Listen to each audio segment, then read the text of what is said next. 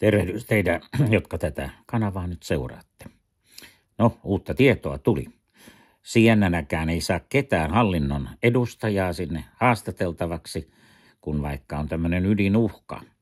Niin siellä haastatellaan entistä ulkoministeri, joka on ollut aikanaan ulkoministeri. Ja on se vaan käsittämätöntä, että nyt tällä tavalla – Bidenilta vanhoja lausuntoja ne esittää, kun ilmeisesti häntä ei saada nyt sitten haastateltavaksi. Ei ilmeisesti uskalla ottaa häntä, ettei tiedä mitä sieltä tulee. No, katsotaan miten tilanne kehittyy.